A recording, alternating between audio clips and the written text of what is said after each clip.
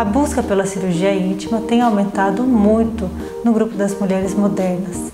Ela consiste desde o tratamento do monte pubiano com a lipoaspiração e o lifting, até a lipoenxertia dos grandes lábios e ao tratamento e correção dos pequenos lábios que podem estar aumentados. A cirurgia é simples e costuma deixar cicatrizes discretas, melhorando a qualidade de vida dessas pacientes e a autoestima e muitas vezes até mesmo o relacionamento conjugal.